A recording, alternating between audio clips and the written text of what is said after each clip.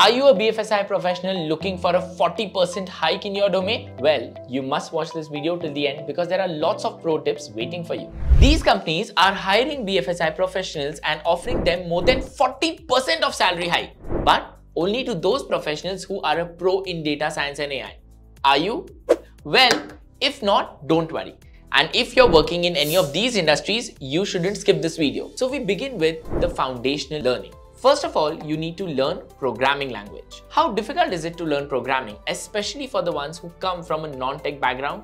Well, let me tell you one reality. Anybody can learn programming. It's super easy and remember, Learning programming for software development is very different than learning for data science and analytics. You all have learned a bit of programming in some form or the other in school. You just need to revise and revisit those concepts and you're all set. Well, again over here, a big question comes whether you should learn Python or R. So, Python is more strongly recommended in the industry, especially when it comes to BFSI and R it was used earlier, but today it is more relevant only to the pharma domain. Now, before we move ahead, I would like to give you a pro tip over here. It is very important for you to learn Excel properly. We all know basics of Excel, but that is not going to be sufficient when it comes to being a pro in data science and AI in the BFSI domain. Because for that, you need to have knowledge of advanced Excel and that is going to be super helpful for you. So remember the pro tip, that is become a pro in Excel. And then we move on to the intermediate skills, that is statistics and ML. Statistics. Well, the term is not very unfamiliar, right? Go back to your grade 9, mean median mode. Ring a bell? Yes. So you have already learned statistics, right? You just need to use the same concepts, the same procedures, just in a little more complex manner and you're all set. To learn statistics for a BFSI professional in data science and AI, you don't need to be a mathematician. The knowledge that you have got in school, you just need to apply it in the correct place and you're all set. And then we come to ML. ML is machine learning. Now, when you use ML in BFSI, you need to know about credit risk analytics, fraud detection, etc. etc. Till date, we have learned and applied the concepts. But when it comes to the intermediate skills in BFSI, you need to understand that how you have to make machines learn so that they can apply the knowledge that you give them. And that is with the help of algorithms. So when we talk about machine learning, it's very important to know, understand and apply the correct algorithms so that machines can do the work for you. A very strong recommendation over here is for case studies, especially the case studies from banking domain. Because without case studies, only learning machine learning algorithms is not going to help you. You can get data sets on the internet so that you can work on the case studies. And if you want to work on some real case studies from BFSI, well, what are you waiting for? Subscribe to LearnBay because we provide you real case studies so that you can work on the data sets and become a pro.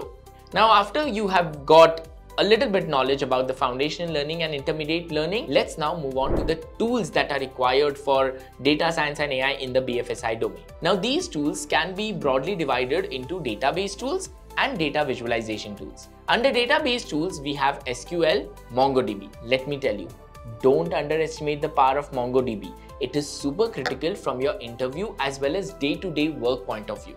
So mastering MongoDB is mandatory. When I talk about data visualization, over here we have Tableau and Power BI.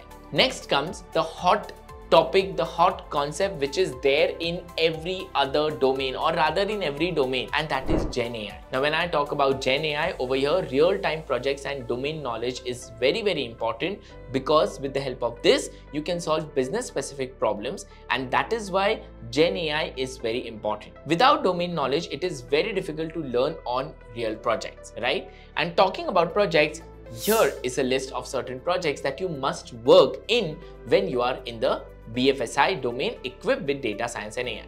Are you looking for domain specific knowledge in BFSI? So don't worry.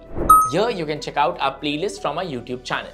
And also let me tell you that we are offering absolutely free counseling for all your doubts from our domain experts. Do call LearnBay and book your slot. And now we move on to the next step that is interview and building strong portfolio. First of all, you need to make sure that you have an ATS friendly resume.